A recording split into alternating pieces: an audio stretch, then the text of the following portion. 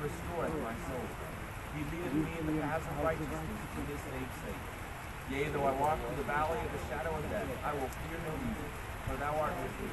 Thy rod and thy staff they comfort me. Thou preparest a table before me in the presence of my enemies.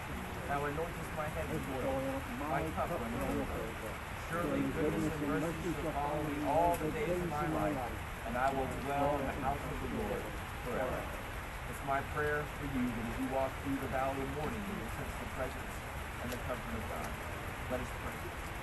O God, our Creator, from whom we come and to whom we return, and in whom we live and move and have our being, we praise you for your good gift of life, for its wonder and mystery, its friendships and fellowships.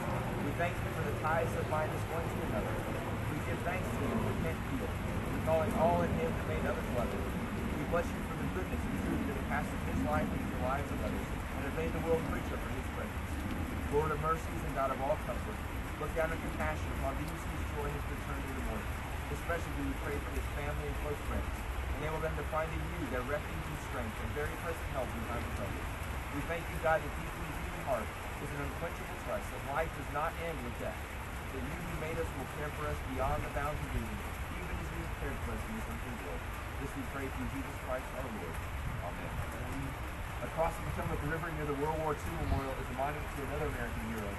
It reads, quote, In life he honored the flag, in death the flag shall honor him. Captain Kiehl honored that flag, and today the symbol of our great nation honors American patriots.